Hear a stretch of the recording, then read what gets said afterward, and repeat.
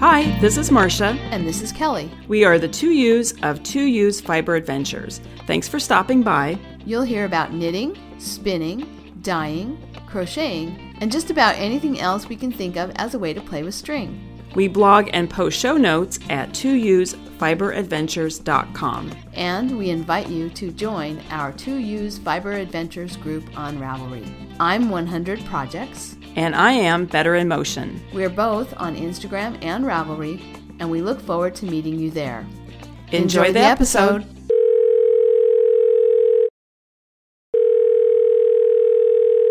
Good morning, Kelly. Good morning, Marsha. Not quite as early um, now as when we first started talking on the phone. I know, really. Marsha and I haven't seen each other in a while, so uh, so we had lots to talk about. yes, we have a lot to talk about. We last saw each other at the Black Sheep Gathering, and then, um, well, we'll talk all about it. Yeah, um, and well, and and I've missed podcasting too because we, um, because of the Black Sheep Gathering, we got behind another episode. Yes. well, so you call it behind, but we we had a little break. Yeah. Well, you after the Black Sheep Gathering, you and Robert took the trailer back to Bend, Oregon, because mm-hmm. um, you had a punch list that you wanted the um, the flight camp that did the restoration to take care of. So you were there for five nights, I think it yeah. was. Mm-hmm. And we had talked about sort of what our plan was. Uh, we would record while you were waiting for the trailer to re- be um, um, well worked on, the work to be completed. Um, but you said it it was just too hard with the dogs in the hotel room and um, yeah. too much going on. So, yeah, um, mm-hmm. which makes sense. But anyway, well, and so, it was fun too. I mean, we had we did we did stuff while we were in Bend. Not a lot of yeah, stuff, but we did some yeah, things. So yeah, yeah, yeah. So yeah. So well, it's been a it's been a while. So let's talk about what we've been doing. Yes. Well, first of all, we have to start when you you drove up, and I don't think we talked about well we because we didn't record but we did talk i think before you left that you had booked two nights through harvest host. Mm-hmm. so you had one night at um, the rice farm. Yeah. And um and then the second that was in uh, northern california right? Yeah. Mm-hmm. and then the second night which this sounded really fun uh is you're at a winery in uh near medford right? Oregon yeah, it was. Yeah, it was just out, just off the freeway in Medford, not far off the freeway at all. Mm-hmm. So that was really nice. Um, Eden Vale Winery, mm-hmm. and that was it was beautiful, and it had it had great wine, and it was warm, but had lots of shade and green grass, which we don't have in California. so yeah, it was it was really fun. Both places were were great um, from the standpoint of the the rice farm is at exactly the right place to stop, but mm-hmm. there's really nothing there. Mm-hmm. And and I was afraid it was going to be just way too warm mm-hmm. because it was hot. But you know, we had we had shade and it was nice and breezy. It actually got a little bit too windy that night, but but now that we know that, we kind of have a better idea if we ever stay there again of where we should park instead of where we mm-hmm. did park. So anyway, yeah, I'm I'm I'm a fan of Harvest Host. We also stopped we also used it on our way home. We were going to try there's a place in Weed, a brewery. hmm Uh, but they didn't have any availability because the night we were the day we were going you know, where we, when we would have stopped in, in Weed, uh, at the brewery was a Saturday night right before the 4th of July. And they actually didn't have availability for that night. And I don't know if that's because, um, you know, they had some event going on mm-hmm. or if they just had too many other people who were staying. But we did pop off the freeway on the way home and check it out. Um, and you know, just to kind of see, okay, where, what, what does it look like? How close it is to the highway? Mm-hmm. What's around it so that we can maybe take advantage of it. Um, you know, take advantage of it another time. So it, but then we stayed at um, another another winery uh, in Lodi Okay. right before we got home, and that was fun too. So I just I'm I'm thinking that this is a really good a really good thing. Although I have to tell you that um, you know you buy membership and then staying there is free. Yeah, it's not really free It's not really because I know because I know what you're going to say. we spent a lot of money on wine. yes, you guys bought. Didn't you buy the winery in Oregon? You bought a case of wine, right? Robert bought, yeah, he he liked. There was one of them that he liked um, so well that he actually bought a case of it. So, and, then the one did in Lo- Lodi, we bought a couple of. Uh, he bought a couple of bottles of bubbly and a couple of bottles of something else. Yeah, so uh, yeah, Yeah, so they're not exactly free. Um, that's so funny. Well, let's um do you want let's talk about the we usually go right into projects, but let's talk since we were talking about this trip and about Black Sheep, let's talk about Black Sheep and what we did and yeah. how much fun we had. That sounds good. Yeah, we arrived early. Um, Mm-hmm. We we actually spent I think five nights at the um, Linn County Expo uh, grounds because we arrived on. I want to say we arrived on Wednesday. I think yeah, we arrived on Wednesday, and Mhm. the Black Sheep Gathering really didn't start until Friday. Thursday was like loading in day for all the livestock Mhm. um, and the vendors and stuff. Um, uh, there were some people there on Wednesday. I mean, we weren't the only ones by far, but but it was nice. I I don't know. I, I think I've said this before. I think there's something really kind of magical about being on fairgrounds or any place like that where the action isn't happening. You know, Mhm. when you're in the off time, like Mhm. being on um, when we had the uh, when we did the s- sleepover at the baseball stadium. Mhm. Right. You know, that was just really cool. And when I used to do dog shows, being on showgrounds after the show was over, or you know, at night between the two days of shows, Mhm. I just always really liked wandering around on the grounds when there was nobody there. Yeah, yeah. It it kind of reminds me. You probably you probably read Charlotte's Web, right? Mm-hmm. Yes. I think maybe this is why I like it because in that book, when Wilbur goes to the fair, Mhm. and then you have this peak of all the animals at the fair after all the people go home. Mhm. I, I think that's what started. I think that's what started this uh, sort of um, love of mine of being places where you shouldn't be after hours. You know. So, and then what was the other one? The mixed up files of Mrs. Basiley Frankweiler, where where the kids are in the. It's, I think it's Oh, a li- library. No, I think they're in the um the museum, aren't they? In the um I think that's a different book where they're in the Natural Oh. History Museum.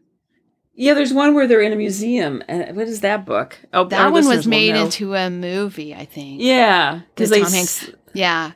Uh, Well, people are now are are telling us now. I can I I can just imagine myself when I listen to a podcast and someone's They're- trying to think of something and I'm I'm walking the or they're yelling at they're like, yelling at it's us. this, it's this.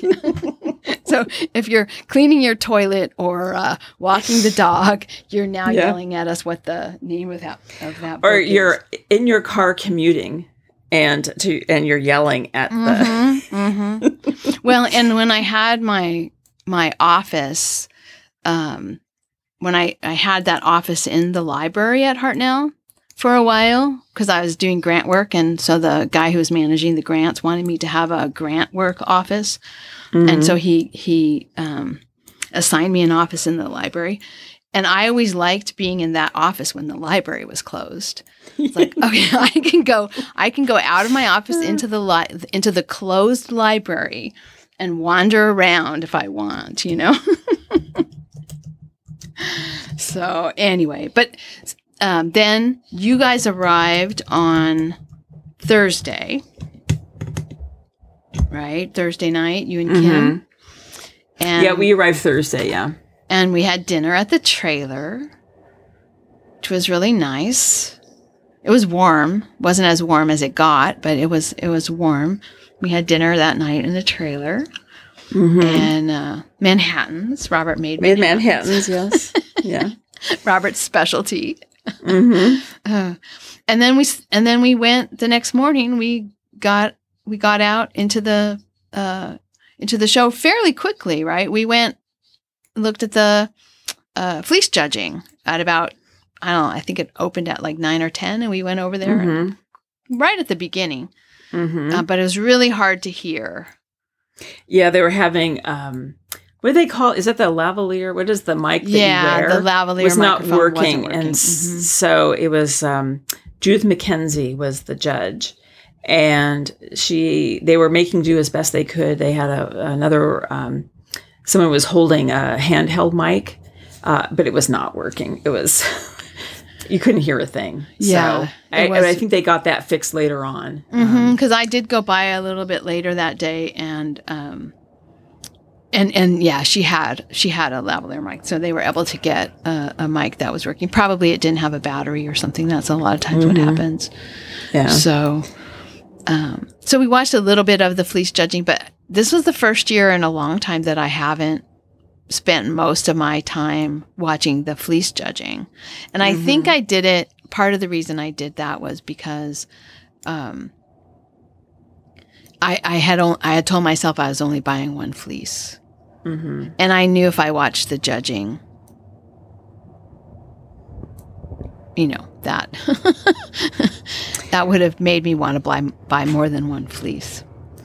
well I um before I left I looked at the fleeces that I have Mm, which was really good because I thought I don't need to buy another fleece because I have a few. I will not say how many. um, eight. Um, um, so I thought I I'm really glad I did because I I went down there and I thought I cannot buy another fleece. Yeah. it's, it's a crime to buy a fleece and then have it just sit in a closet and not do something with it. It has to be used. So, um, But, but, we did we did make sure that fleeces were purchased because yes, we yes. we were we were in the fleece sale um, separate from the show when we realized we couldn't really hear what was happening we walked over to see what was for sale that wasn't part of the show. And there was a nice i think it was a cvm fleece Mhm. a nice cvm fleece that we were looking at. And this other woman comes up to it and uh, we're like oh yeah isn't this nice? Oh this is so nice. And she's like oh man i was only going to buy i'm only going to buy one and I said, well, you know, I, I told myself that, but if it's an emergency, I could buy two. hmm And so then, so then I said, okay, I think I have to walk away from this. And I walked away and she walked away. And then as Marsha and I were leaving, we saw she had grabbed the fleece and brought it Yeah. to the register. yeah yeah she couldn't resist well i have to say i was walking around and i uh, i had to fight that feeling all the time of oh that feeling of wanting to buy something because they're so beautiful you know and i Yeah. um uh and there's so much potential you know i think when you see Yes. these things you have all these ideas about wouldn't that be fun to process that wouldn't that be fun to spin that and, and, It's um, like seed packets, mhm. only There's so much potential. Yeah, yeah. so much potential. Anyway, um, yeah. But um, what else then? We so that was really fun, and then we also we walked around the marketplace. hmm Um, we did that in two days. I think we kind Yeah. of took our time. Well, and Um, you knew something that you were interested in, right? That you wanted the blending board. Yes, I wanted a blending board. And so we looked at all of them. And the one I ended up buying, I, I put a link in the show notes. It's from Celestial Farms. And I don't have his card here in front of me, but um, uh, he has an Etsy shop. He's actually a farmer. Um and then on the Etsy shop, they sell the blending boards, um, beautiful wood. Um, and they also sell soaps and beard, uh, like beard bar. uh, I don't know, not oils or something, you know, for Oh your, yeah. uh, Robert has men's that. beard. hmm Yeah, and well, I made him um, some with with some of the beeswax, and then Okay, he also has some that he got as a gift from someone Mhm. else. so I Beard at all wax the, or something. yeah, beard wax and um, all kinds of soaps and grooming products, and um, jewelry um, and things are on the Etsy site. But anyway, Kelly, you and I, we looked at a lot of the blending boards, Mhm. and some were very expensive. Um, I always thought it was pronounced Clems and Clems. It's actually Clemis and Clemis. I found Mhm. out. Yeah. Um, theirs were, I mean, how much were those? I don't remember.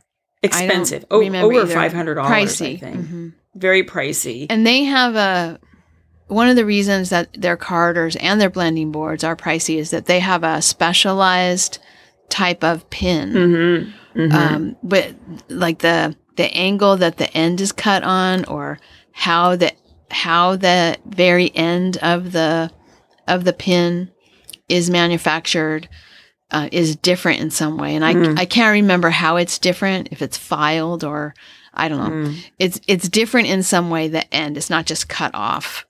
Oh, You know, okay. it's not just cut off flat, and so it's supposed to um, be especially good for different kinds of fleeces, and they have a Mhm. lot of information on their website about about why their carding cloth um, is superior, and and Mhm.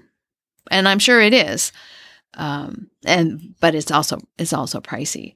So yeah, yeah, and they're also using very uh, interesting woods too. Mhm, They're not just mhm. you know it's not just plywood or something. right. Or I I'll put a link in here. um, I put it in the Ravelry, but I'll put it in the show notes too. Uh, a woman does a, a demonstration about excuse me how to make your own blending board, and you can buy the cloth online, and then she just went to Target and bought a um, a wooden um, cutting board oh right. and I think glued it on or stapled it on there. So there are ways to make. Um, I'll just tell you that my blending board was $180, which was significantly less than the other ones that were for sale. Yeah. Um, Even the Ashford yeah, which is usually kind you know the ashfords are kind of like the the uh, you know best value a lot of times with Mm-hmm. Yeah. equipment in equipment Um, but uh, online, the this video that I'll find it and I'll post in the show notes. Um, she said it's about a hundred dollars to buy. It sounds like probably the most expensive part is the cloth. yeah Um, and then, um, so, and you maybe could make it even for less money than that. But anyway, um, so I'll, I'll talk about that in my projects, what I've been doing with the blending board, but Nice. that's what I bought. And, um, I'm trying to think what else I bought. well you did get one of the eight ounce braids right from eugene textile center I bought two. okay yeah Um, and that was the other thing too, is I thought I don't really need braids, but it's like, how can you go to a fiber sh- show like oh, and not buy some fiber? I mean, so I I had found because well, we'll do you want to talk about your your doing or we'll talk about that later what we bought there, but um we um then I would say I took a class um, on Friday afternoon. I Oh, took a class right. Mhm. on stranded color work, and it was a good class. Um, my takeaway is that, and, and the reason why I took this class is, as everybody knows, I've been having some problems with my color work, and so I thought maybe I learned some techniques and tips. And the truth is, I didn't learn anything new in terms of how to knit color work. It's all the stuff I've been told or I've seen on YouTube videos. What I really came away with is I just need to spend more time knitting color work. And what I need to do is, is um, try doing color work with different yarn that I'm using. So um, that sweater that I'm making for my brother, I think it's, um, I say, I say it's a sticky yarn. You know, it's very, um, mm-hmm. and it's bulky. Um, and I think what I need to do is practice like making a cowl or a hat or something yeah with a lighter weight yarn than that is what I and so um, I said to everybody it reminded me when I took skiing lessons and the instructor said to me well you basically you have all the tools you need to become a proficient skier you now just need time on the mountain and I think that's the same thing with the color work is I, I didn't learn anything new in terms of the color work other than I just need to spend more time doing it and then the other thing I learned, and we were all laughing about this because this was the price of the class. You know what I'm going to say, Kelly. Yes. Mm-hmm. So when I do um, any kind of charted patterns, um, I always take a post-it to mark where I what row I'm on, and I always put it the post-it below the row I'm working on. And in class, she said, well, if you put it above the row you're working on, then you can see the rows that you've just completed to kind of give you another sense of where you are on the pattern. Yes. So, And like I- you do, so you can see that, oh, in the stitch before where Mhm. last row I did a yarn over, now I'm going to Mm. do. Now I'm going to do the yarn over one stitch over. Yeah. hmm Yes. Now, people are now yelling at us like, well, we all know that. That's not new. but, I, I, and the, the thing that's so absurd about this is I always with the post-it note, as I say, below the row I'm working on, and I always have to take it off and look underneath it to see, like to check, like how ridiculous. I mean, it's so, so- Well, it's, so silly. Funny so because silly. you you asked that. We had um, we met up with a few people. Mhm. Kelly was there, and Dagmar, and Marianne, and Monica, um, and we you know we had a chance to visit with them, which was really fun. Um, but while there was a group of us there, you asked, you know, where do you put your post it? Mhm. Yes. And you weren't the only one who put your post it below the working row. Yeah. So Yeah. A, a lot of, I mean, it's like 50 50. Uh, yeah, it, w- it was kind of funny to to see, Yeah. and um, because I've always put it above my working row because I need to see. That was whole, the whole point of I charts. is know. I needed And to I- see what was happening and below. I and Kelly, this is this is so ridiculous. I need to see too, but I always put it. Well, we're so Oh habituated. Really, I we're so habituated to like underlining and you know when you're taught to read, you put your bookmark underneath the row of words that you're Mm-hmm. reading and uh, I mean, I think we're really habituated to do that in in in so many ways. You know that Yeah, because most of yeah. the time we're going down, right? Yeah, no, I, this is just And it's, when you knit, so you go crazy up. I- yeah, yes, so I still I just chuckle. It's so funny that and the instructor when I said to her like I really kind of felt like mind blowing. like like and, she, and she was sort of like okay uh, uh, okay whatever you know like I- like you're weird but okay but really seriously I was like it's once I once I've seen it I can't unsee it like I Yeah. really am just my it- it's so crazy that I was constantly having to lift up that post-it note to see what I had just done. And I was such a simple thing, just turn it over and put it anyway. Um, it was a good class, and I think and she was a very good teacher and very well organized. I will say one thing about Black Sheep Gathering is um, uh, they never sent me an email saying that you're supposed to bring yarn and you had to do homework before you so we could all start at the same place and uh, it was a they, she had designed a cowl and you're supposed to cast on and knit a certain number of rows before you started the color work Mm-hmm. and um, I, I don't know why I didn't get the email and I and I was not alone half the class got the email Yeah. and half the class didn't get the email I think So getting something- started back up after having two probably years yeah. of not doing it, you know, ha- of not having the the Mm-hmm. face to face gathering. I think yeah maybe there were some And- some glitches. And I think too, I don't know, but I, I suspect it always feels to me the Black Sheep Gathering is a more, um, it's a volunteer based Mhm. group, unlike perhaps, you know, Stitches, right, right, you know, where they have the resources to, uh, the, to put into uh, a, a system. Um, Right. And Black Sheep doesn't have that, you know. Yeah, I had a and great would- time. You know, I played catch up, but I still, my big takeaway was the post-it note, and then Right. also learning that I really do know what I'm doing. I just need to spend, um, I need to practice more. On, Right. it's not yarn. about some magical tip. It's, no, no. it's no. about time on task. Yeah, yeah. yeah. Um, one other thing I just wanted to mention.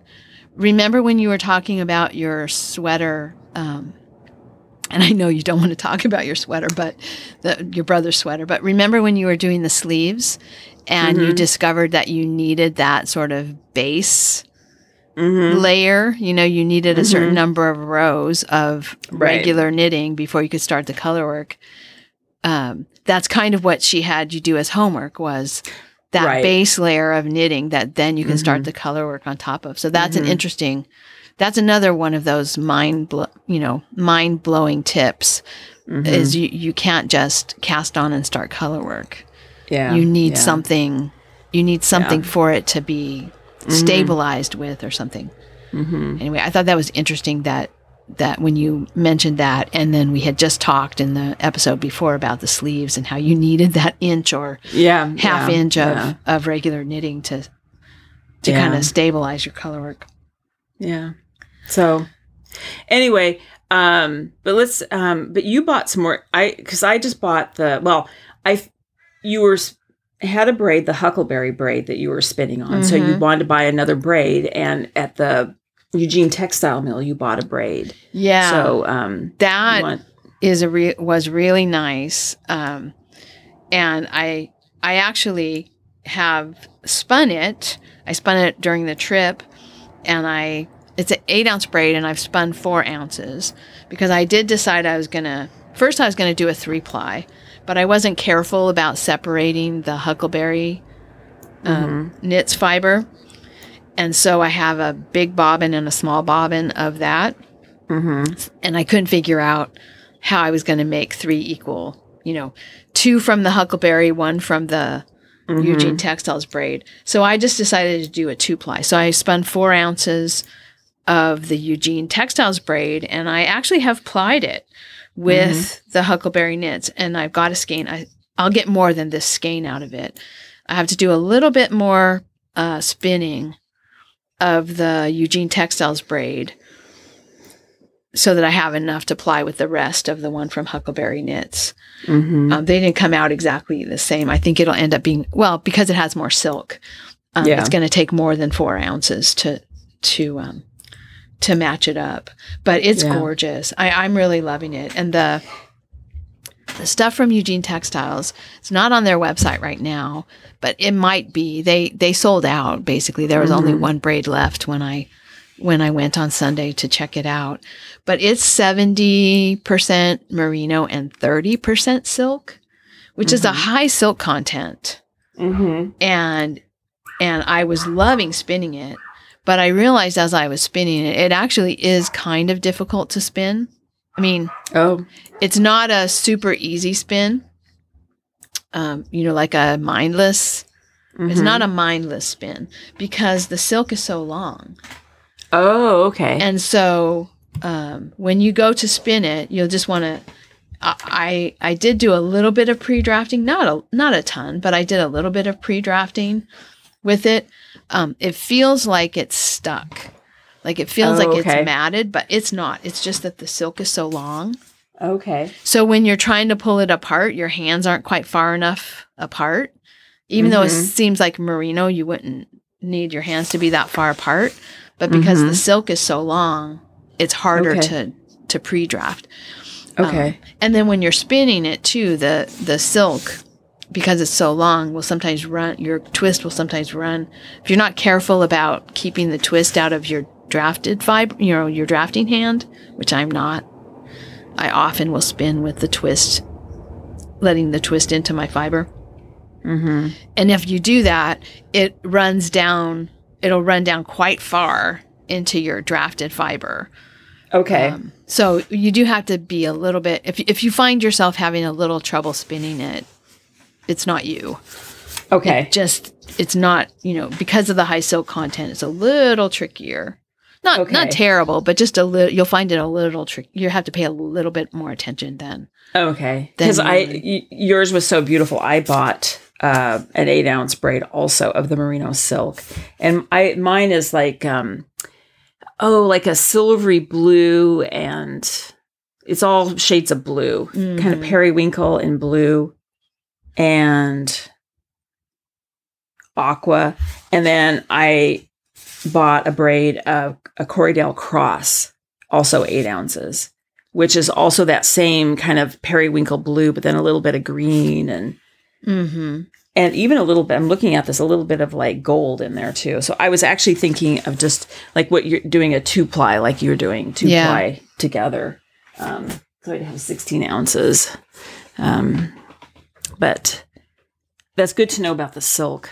but I think well anyway I'll when I I'll talk more about that when I talk about projects. But uh, um, Yeah, my But mine anyway. is really pretty. The first braid from Huckleberry was it had brown and it had some brown in it and some blue in it, but it really was mostly sort of pinks and purples with mhm, some blue and some brown and some gold.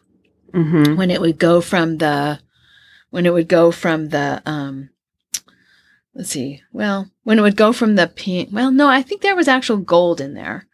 I can't remember now exactly. But then the one I bought from the Eugene Textiles is was blues and greens and brown. And they just went together really nicely. And now I have a skein that's looks a lot of brown and purple.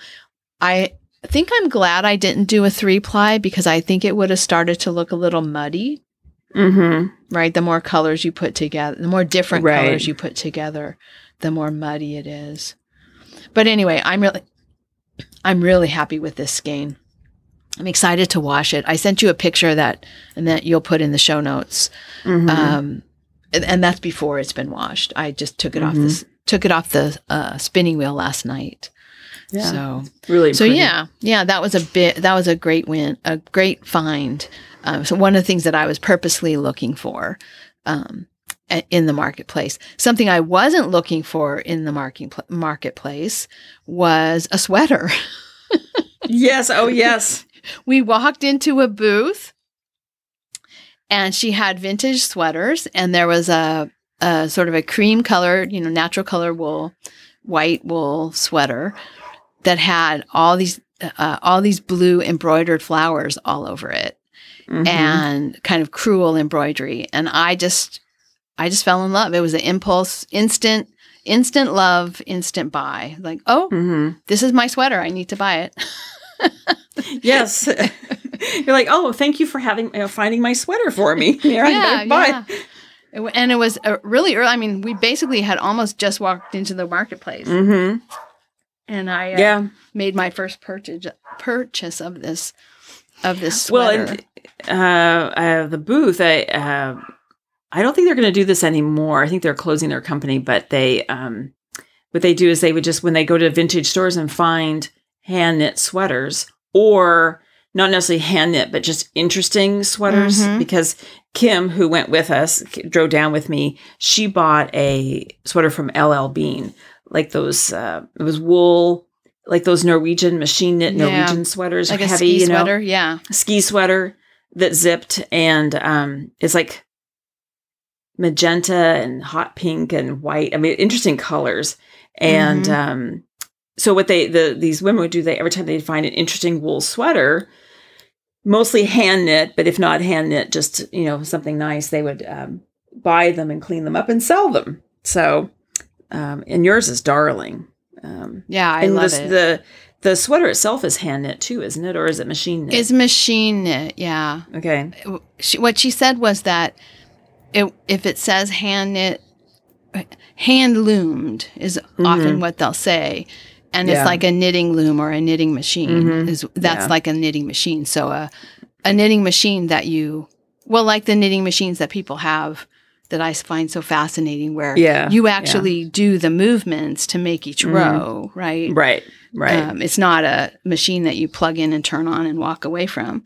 Mhm. Um, so it, that was a, that was great. I was so excited about that sweater. It was perfect. And then I um, I bought a flick carder at the same place where you bought your blending board. I did end up Mhm. getting a flick carder. And then the other thing that I did that I had planned on doing was I went to the Duncan booth where they had the the uh, carders and talked to them about my drum carder because it's you know it's 20-ish years old. And i bought it from them the first time i had gone to the black sheep gathering. And yeah so it's probably more than 20 years old probably 22 years old. Anyway doesn't matter how old my carder is. It needs some adjustment.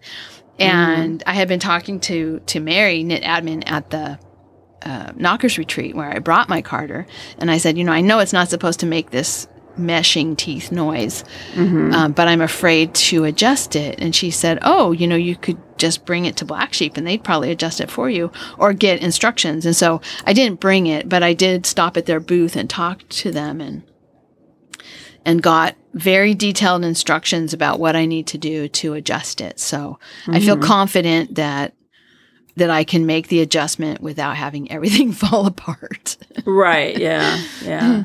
So I don't have to. In fact, you don't really have to take things apart. You just loosen things and then Mm. and then make the adjustment and then tighten them back up. So Okay. so I'm excited to do that and have a drum carder that makes a little less noise because I've known for a while that it's out of adjustment. And he said as as the wood, you know, as as it ages and dries and weather happens, things shrink and hmm and that will often happen where um, the you know things will shrink and the teeth start to mesh together when they hadn't done that before. So. So anyway, I'm I'm excited to be able to repair my drum carder. I haven't done it yet, but I'm gonna I'm gonna try to do that maybe this week. We'll Mhm. see. Before it's gone too long and I've forgotten what he said. Yeah. Really. No, he was very nice. He said there's video, you know, there's a video I can look at, um, or I can email him and he'll send me, you know, he'll send me the video link, or I can email him and he can walk me through it with pictures. And I took pictures with my phone and took notes. Mhm. So I think I think I'll be in good shape to get that to get that done. Okay. Good. All right. So. And then I did get a fleece, Marsha, Yes. as you knew I would, right? How could I Mhm. resist? Um, Mhm. I have been talking about a California red for a while, and I knew that there are California red sheep that regularly show there. And in fact, I watched the the judging of the California red sheep um, one afternoon. I think maybe while you were in your class, I, I watched the the judging of these California red sheep. So I thought, oh, I'd like to get a California red fleece. And so I ended up buying some roving from Valley Oak Wool Mill. They had um, bumps of roving, and I stood and talked to Markel for quite a while. It was really nice to talk to her. And then I um, I uh, bought quite a few bumps of interesting things at her at her booth. But then I went over into the um, fleece auction, or not auction, but the fleece show, the sale Mhm. and looked around at the fleeces that were left on Sunday. Um, you know, the the sh- the sale starts on Saturday afternoon after the judging. I did not Mhm. go in there right after the judging. I waited until the next day and I thought, you know what, if anything good is left at a good price, I think I'll I think I'll get Mhm. it. And there was a California red fleece and that was something I was interested in. And I saw it and then I thought, okay, well, I'm going to go look around the marketplace and, you know, do a little bit of last minute um, looking around. And then if it's still here when I come back, I'll buy it. And it was still there. So I bought it. So I have a small, I think it's a four pound, four and a half pound, something like that fleece, uh, Mhm. California red fleece. So that's a medium to medium to prickly Mhm. Well, I, I think the the wool is actually medium, but one of the things that I learned from the fleece judging at one point is that it's the the variation in the fiber that makes you have that prickle factor in wool. Oh, okay. Mhm. So, and I and so, um, California Reds were bred. The guy who bred them was actually trying to breed a hair a hair sheep, okay. like the Barbados. He bred a Barbados to something else, and I, I there's a link in the show notes to information about the breed. Um, but anyway, so they have they have some variation in their in their wool, which makes for a more prickly fleece than one that has a lot of consistency. So you can have a medium Corriedale, about the same micron count, and if Mhm. every, you know, basically every fiber is the same, it will feel softer than something with a similar micron count, but there's a lot of variation. You know, some of them are coarser, some of them are finer, and so so it's not a soft fleece, Yeah. but it's interesting. It's one of those breeds that I that I haven't spun, so I'm really interested in it. So, and then I bought um, a bump of Debouillet, which I had never, I don't think I'd even heard of it, Mhm. uh, roving from um, the Black Sheep, the uh, Valley Oak Wool Mill. So I have a little bit of something else that I've never spun before. Yeah, so I I had a lot of fun. and then we should also say that on Saturday we had the meetup at the trailer. Um, Yes. Which was really fun. Friday night we had dinner with Dagmar. She couldn't be there on Yes. Saturday, so that Yeah. was fun. And then yeah, Saturday we had um, we had the meetup with the trailer at the trailer. and Small um, small group of yeah. people. We had but fun. Kelly from um, Vashon Island was there, and um, Marianne. Marianne Mhm. and her friend Monica. Mhm. So it was a nice group. We had a nice uh, dinner, and Well, it and was we very hot. we very spent hot. yes we spent a good portion of the time spinning um, in the shade of the barn Mm-hmm. and kind of watching the very end of the of the of the judging of the sheep, which was interesting. Mm-hmm. So uh, Danielle Gracie B, she had messaged in Ravelry, and I didn't see it until until too late. Um, that she was working in the information booth, and it's funny because I did go to the information booth because that's where they were selling hats, but I Mhm. didn't go there to buy a hat until uh, Sunday when she was gone. So Yeah. I I never I never ran into her. So Yeah. maybe next Yeah. time. Yes.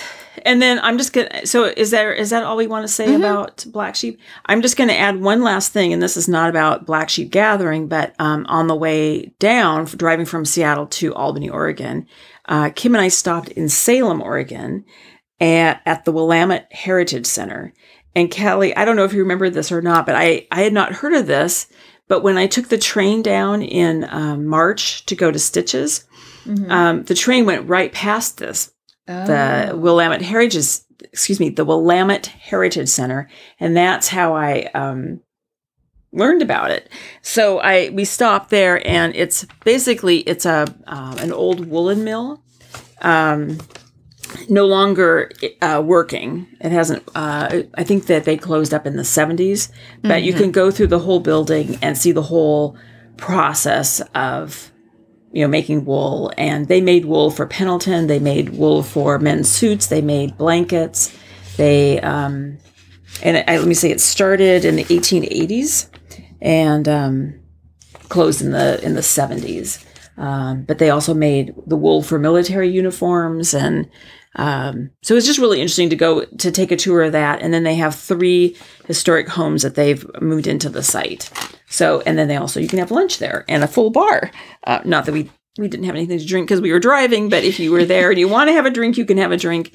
But it was just kind of fun to stop and see that. And uh, there's a link to the um, the website, and then the gift shop is run by uh, Pendleton Woolen Mills. So um, that's kind of fun. They have all kinds of.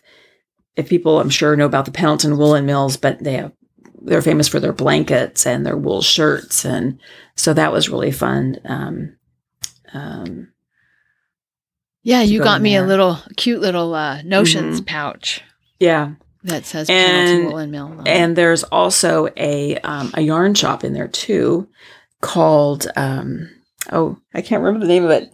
Um, it's like Teasel, something Teasel. I'll Oh, look up yeah. the name and I'll put it. I'll put it in the um, in the show notes. cool. Um, but we, we went in there and walked around a little bit, but restrained ourselves because we knew we were going to the Black Sheep Gathering. So, um, and also I literally need no yarn. So we've talked about forever.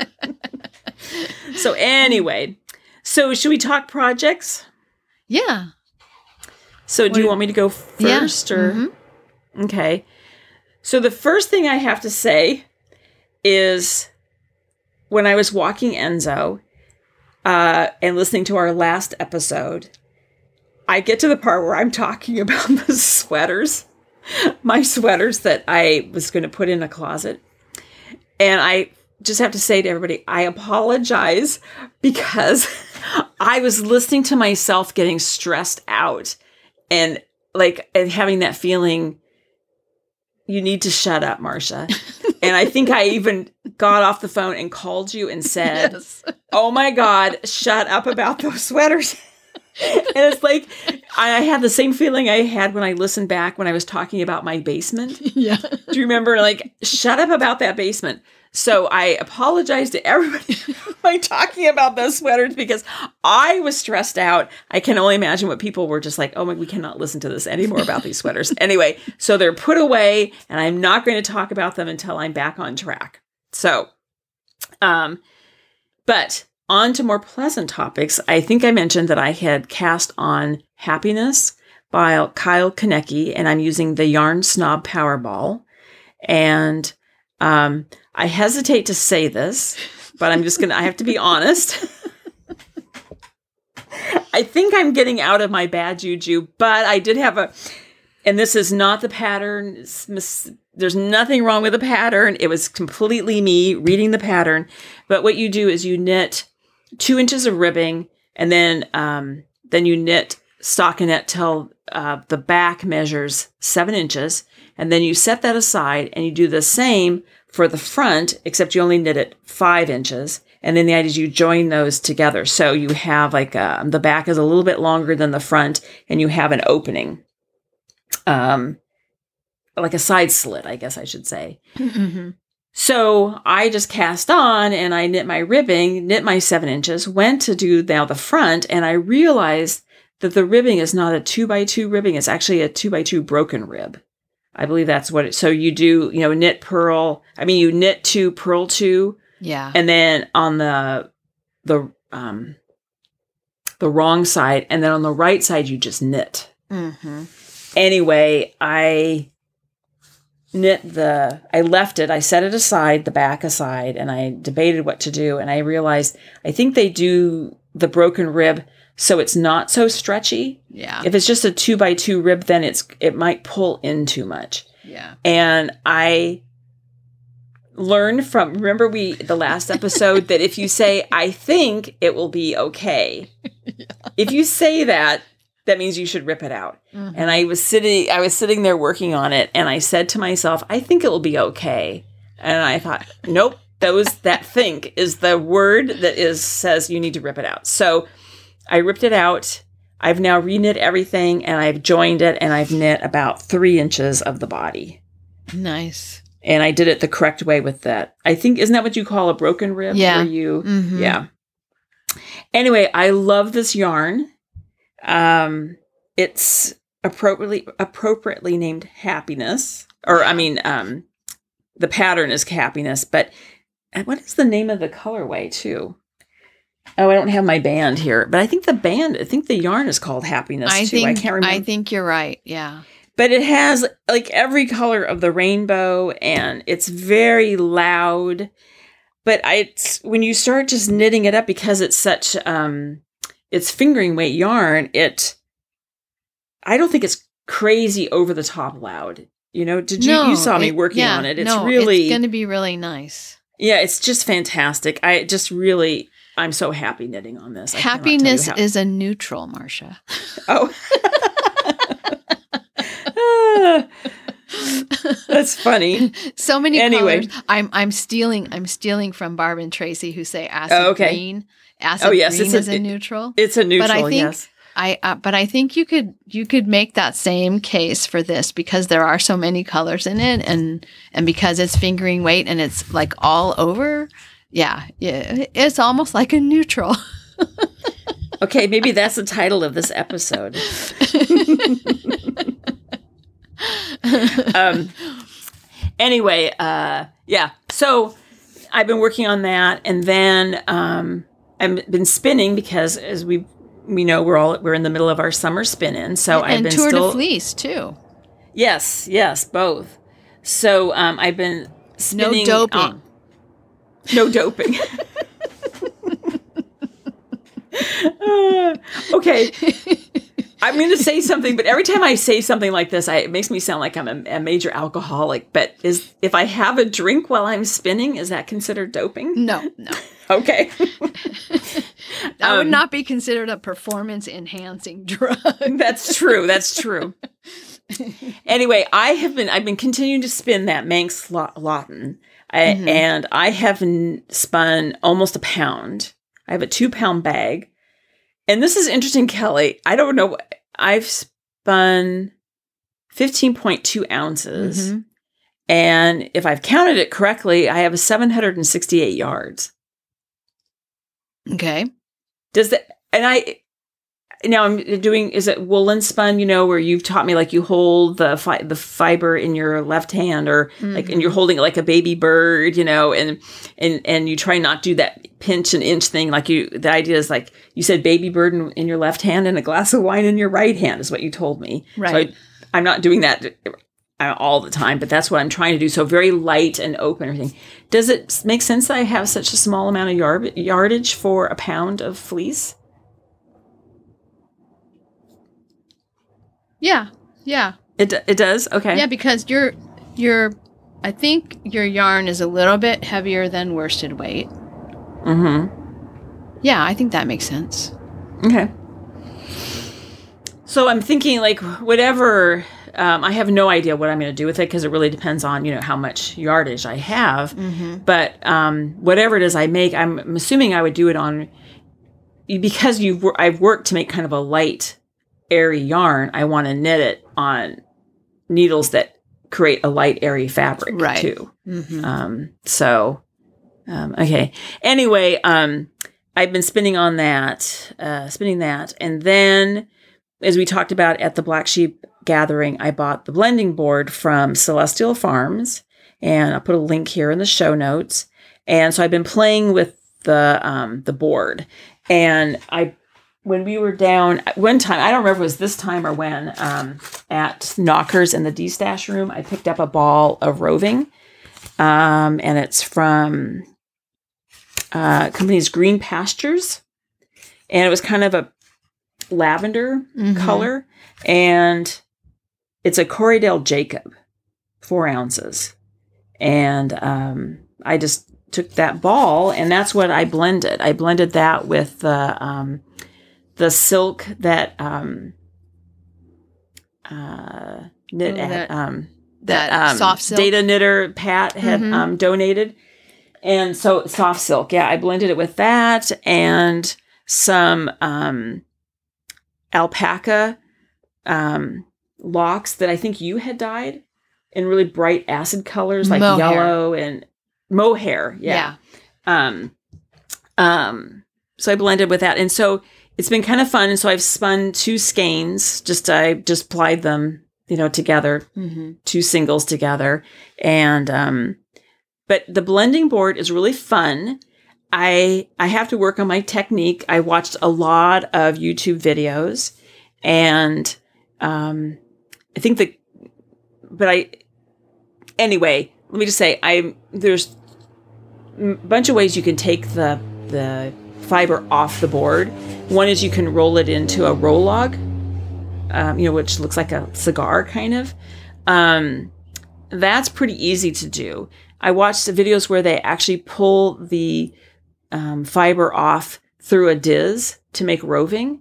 Mm-hmm. I cannot do that. I, it's not. It doesn't come off easily. I don't know. Um, it could be this um, fiber is kind of a, a sticky fiber. You know, it's Mm-hmm. not with it's clean so it's not with lanolin but just the fibers are kind of like hard to pull apart you have to really draft it a lot and so it could be that i don't know so i'm not doing being very successful with the uh, pulling it off through the diz um so it I might be to better some- to use longer fiber if you're going to be doing that. oh okay okay Because usually when you pull things through a diz, it's it's usually for combed. I mean, Mm. one of the things you that that it was designed for was for pulling comb top off of combs, and that's Mm. usually longer. You know, the longer fibers. Yeah. yeah So I, I'm sure it would be easier with longer fibers. People probably do it with the shorter ones, and you just maybe need a little more practice, or okay um, you know, maybe there's I'll- some tips and tricks that you can find somewhere. But but I would guess that using longer fiber would help. Mm. Yeah, this this fiber feels too jumbled up, kind of, So- Mhm. and I know it's not really because it's been commercially processed into roving, but it feels Yeah. yeah jumbled up, kind of, and so it's uh so I'll have to I'm going to practice with some more, and then I did have a kind of a dark chocolate brown merino fleece that I pulled out and um carded some of that and used on the blending board too, and that was not it was a bit more successful but Mhm. not super successful. So, and then I I have to watch some more videos and practice some more too because I'm finding the so when you take the mohair locks, you pretty much have to just take them. You have to use the obviously you know you can't just put them on in their their intact state. You have to use the flicker brush to brush them out, and then you have to separate them quite a bit. Um, Mhm. because they don't blend. I mean, it's not like you're putting them Right. through the carder, you know. So you have to. What I'm learning is you have to use really uh, well carded, well, yeah, well, well carded fiber. If it's uh, if it's um something that you've dyed yourself, you have to. Does that make sense? What I'm Mhm. saying? Yeah. Um, That makes sense. And well, and those locks are are super old and sticky. they're very sticky. Yeah, yeah, yeah. They're all kind of stuck together with hmm well, and the other thing about them I think is they're not the well rinsed. No, I think it's the like I think a lot of them there's like it's like the dye or something that's there's like something sticky on them. I like Yeah. I almost felt like it was the dye. Well, Like, some of it is that I didn't wash the. Uh, some of them were not even washed. You know, the mohair was Oh. not even washed before I put it in the dye pot. okay. I just threw a bunch of locks that I had left over into different dye pots. And then Oh, okay. I also discovered in one of the things that I spun earlier this year, this during the summer spin in that I don't think I talked about. Um, the skein that I blended mohair into my Oxford fleece to use up the last of the Oxford. hmm When I washed it, it really bled. So those Mm. mohair locks that I gave you, they're Mhm. not well rinsed at all. So when you wash those skeins, you're going to probably, depending on how much of the mohair you used, you're going to find a lot of dye, um, Okay. excess dye bleeding out. I mean, the colors are really super saturated hmm and they stay pretty, you know, the color stays pretty saturated, but, but part of one of the side effects of, of having colors that saturated hmm is that you really need to rinse well when you're done. And I did not. I mean, hmm I I dyed that probably close to 20 years ago. So it's, you know, well, it's my practice, so Yeah, I'm yeah, not. so- uh, yeah, it's totally yeah. ju- but just That's be aware when you when you wash that that there will be more than likely there will be some bleeding of the dye. Okay. Okay. And in fact, um, the way I when I washed that skein that I had, I used because it was sticky. That Oxford fleece was kind of sticky still, and I needed to. I didn't get all the lanolin out of it. Um, I washed it with you know hot water just off the boil, hmm and then I had the fleece. You know the the mohair locks bleeding color, and so some of the color that bled off actually attached to the white wool and so I, I got more of a I got more of a muted kind of over kind of an over dye wash Mm-hmm. of color, which is not bad. I, I don't I don't dislike it. I was just kind of surprised the difference between my singles Yeah. before washing and then you know after I plied them and washed them what my finished yarn looked like. And it was Mhm. it was all the extra dye. So, Yeah. So it'll be interesting to see if these, uh, you know, attach to the. Yeah. Um, um, um, it's not a beautiful spin. It's very um, because it was really it actually I say I would say it was kind of hard to spin because the this uh, Corriedale Jacob mhm. Perry that I got, as I say, it was very hard to pull apart and separate. You know, to, compacted. it was hard to draft. Yeah. Yeah. And then um, the mohair locks, because I was trying to figure out how to separate, even though I used the flicker brush to separate them, they're still really sticky. So a lot of them, it was still just like a clump. on the- So it's a, it's not sublime. It's you know, it's a, it's a process of learning, right? Well, So- it's kind of. I mean, it, that's it's more like spinning an art bat. than Yeah, spinning a yeah. processed fiber, right? A highly Yeah. processed fiber. Yeah. yeah, Highly blended processed fiber. Mhm. Yeah. Yeah. So um, it's been interesting. So um, that's that's it for projects for me. Oh, the only thing is, I would say is I am getting kind of tired of this Manx because I've done a pound of two pounds. Yeah. So I think Kelly, we were talking this morning. I think I'm the two braids that I bought at Eugene Textile Mhm. Center at Black Sheep. I think I'm going to start um, spinning those just because I I need something different. yeah. No, that's, I think that's a good idea. Yeah. They're fun. Anyway. Yeah. Anyway. Yeah. Spinning a colored braid is a good uh, palate cleanser for lots of natural colored wool. Yeah. And it's Yeah. funny because I said I was going to buy colored braids. When I went to Black Sheep Gathering, I bought one, and the rest of Mhm. what I bought, natural colored wool.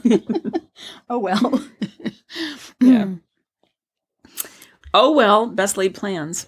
I, hey, I'm happy with everything I got. Yeah, I'm very. I'm happy with what I got, and I think I exercised a lot of restraint too. Mhm, mhm. Um, I didn't come home with a fleece, and they're mighty tempting. Oh yeah, you were Yeah. ready to. You were ready to split that one with me. Oh yeah, You were ready to have the woman who was also looking at it split it with me, yeah. yeah, I was. Yeah, no. or with It's like- you. it's like something just comes over us, right? Yeah, But we have to have a we have to have a conversation with ourselves. So Yeah. anyway.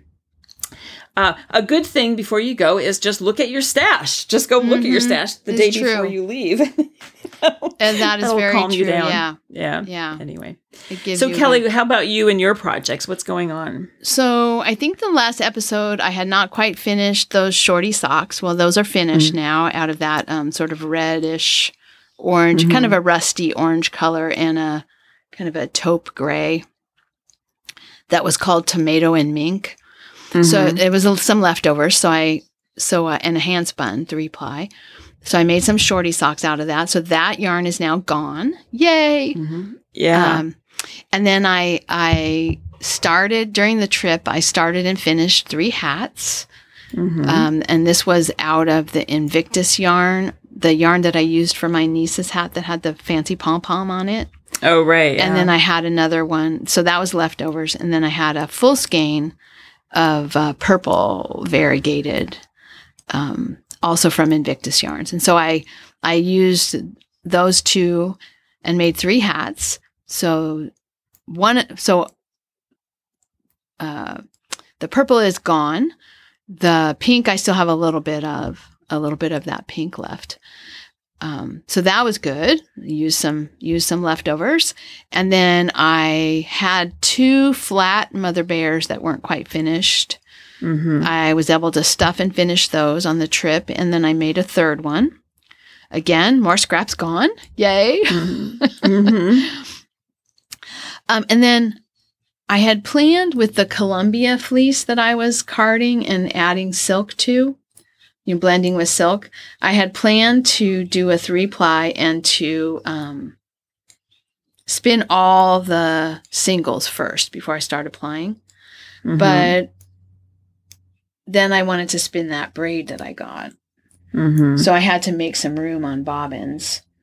And so I, I actually plied, I actually plied off some of the uh, Columbia silk into a skein, which has Mhm. not been washed yet. I'm smelling it.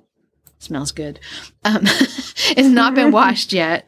Um, so I'm gonna, I'll wash that today. Um, I still have quite a bit on the two of the bobbins, but one of the bobbins was smaller. And so I emptied off that bobbin so I could spin the the braid. So that project is ongoing. I car I uh I picked some locks yesterday. Picked some of that fiber yesterday so I can card the rest of it. I maybe have about I want to say I have maybe 8 ounces left of the Columbia.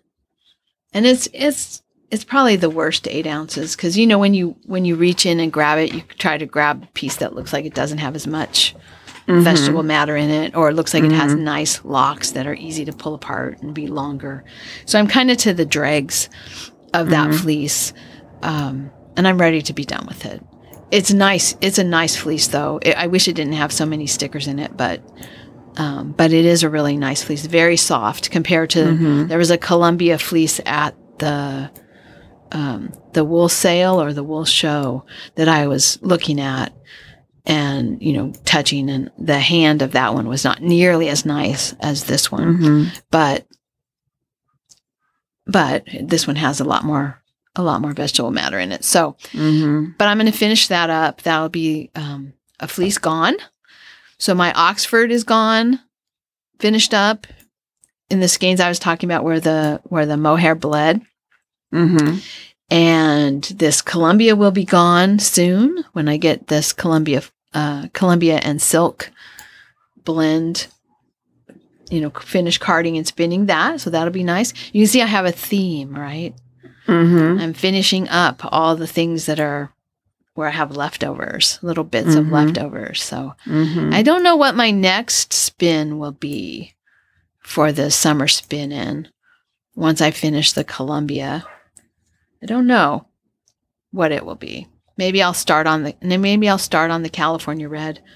Or I have I have a couple of washed. I have a washed. I would say you could just go out to the you could just go out to your Garage. garage, you know. Yes. I have a Wash Shetland. I have still a lot of that Targhee lamb, the brown, Mhm. Mhm. um, actually carded. So I could blend that with some. Al- I have some alpaca that I was thinking of blending it with. I don't know what I'm going to do next, but it's fun to think about it. so, but those are my projects. Uh, I think that's that's the extent of what I've been doing. Not a lot of knitting um, or crochet, other than just the hats and the bears, and even Mhm. that's not really a lot. Yeah. Um, yeah, so mostly spinning on this trip. So, since we're talking about all the spinning, we just have to remind people that, in case you don't know by now, the um, the summer spin in continues uh, until September fifth. And if you are on Instagram, you can use the hashtag Summer Spin In 2022. And um, we already have a prize. We have a few prizes. prizes um, Yes. donated from besides besides some fibery surprise prizes that we'll have Mhm. um, when it comes time to pull prizes. We have some prizes that were donated from listeners. So I want to Mhm. send out a big thank you to Dagmar um, and also to Kathy Straightfork for Mhm. for providing prizes. Um, Dagmar brought us a, a little um, a hat kit made out of shibui, really nice shibui yarn Mhm. um, hat kit that she donated. And then Kathy um, sent me a message and said she'd like to donate a an alpaca um, sample fiber set. So four different types, four different colors of Mhm. alpaca fiber. Prepared alpaca fiber to spin, and then another prize, a pint of maple syrup. Kathy Mhm. um, and her husband make syrup every spring, and it's kind of fun to to uh, see her messages about you know all the all the work that goes into making Mhm. maple syrup. So she has very generously donated a pint of maple syrup from Very nice. from her yeah. trees for a prize. So Very yeah. nice. thank you. So there's lots of time, and um, the uh, group on Ravelry is very active. Um, Yeah. lots of comments and updates what people are doing. So that's been fun. And Nice pictures. um, hmm and then um, really interesting. One of our listeners, Kristen uh, Kabang, I think I'm saying that right, is her username. She has been uh, cleaning fleeces uh, using the fermentation process, and that's been really interesting to see. Um, Yeah. that what how they're coming out. So um, Mhm. really, really interesting. So that's kind of fun to see what she's been doing. Um, and did you read why she's doing doing the fermentation process? Why she started doing it this way? I I think if she's you- she doesn't have a lot of space to wash. Is that right? Yeah, she lives in a. I believe she lives in a, a condo, and the yeah, there's not. She's not able to use that much water or have that much space. So she's trying Mhm. this fermentation and says they're coming out beautifully. So it's been really interesting to see that too. So Yeah, that's cool. I I would like to actually try that someday. Like I mhm. said, I have put fleece in a bucket and just, you know, not paid attention to it for a while, but I haven't done the actual um cuz I think you're supposed to keep it covered and uh and I haven't done that. yeah. So Yeah. Anyway. So um yeah, so join in, right? so Well, it was really fun seeing you because I well I saw you. It's funny because I saw you uh March, mm-hmm. April, Mm-hmm. June. yes. Um I don't have plans to see you for the rest of the summer, but um I don't know. That may be change. I don't know. Who knows? Yeah. Who knows what will happen. Yeah. So, Well, our next planned trailer event is the um, the boot camp, vintage trailer boot camp in August. mhm. So that'll be fun. But but for right now, the trailer is cleaned and buttoned up in its cover. So Yes, I saw the picture of it Mhm. on um, Instagram, and it looks like a loaf of bread. it's all wrapped up. I said Well, to Robert, "This is not very attractive," and he said, "Well, it's not supposed to be attractive." So, Well, and what I wanted to ask you is, it fits so perfectly. Is it custom made for the trailer? no, no, it just has all these wrapping, wrapping Oh, okay. points and ties and stuff. Yeah, Okay.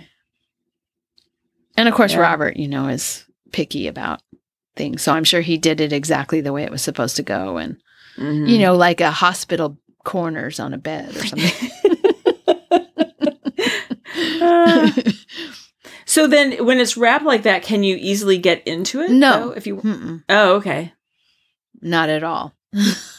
There's not like a like a, a, a fly like on a you know a, a zippered thing on Yeah. like on a tent that you can get into the door. or No, something. the other Okay. trailer had a place where you could unzip the door, but even that you had to be really careful because Mhm. the top of the door is sharp, Mhm. and so you could rip the the cover okay. if you're not careful. So we never we never went in the trailer when it was covered.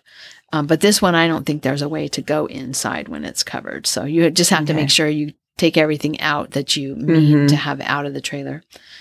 So hopefully we'll. We're thinking about taking another trip sometime in July, a short trip, um, and then the and then we have the trip plan, the planned one in August. So Mm-hmm. Yeah, summer vacation. I hope everyone is everyone in the northern hemisphere is enjoying their summer vacation. yes. and everybody in the southern hemisphere is enjoying their winter. yes, knitting and sitting by the fire. Yeah. All right, Kelly. Um, we'll talk in two weeks. All right, Hopefully, we'll stay on track and we'll talk in two weeks. right, exactly. All righty. Bye. Bye bye. Thank you so much for listening. To subscribe to the podcast, visit twoewesfiberadventures.com. Join us on our adventures on Ravelry and Instagram. I am Better in Motion, and Kelly is 100 Projects. Until next time, we're the two ewes Doing, our, part, for, World Fleece.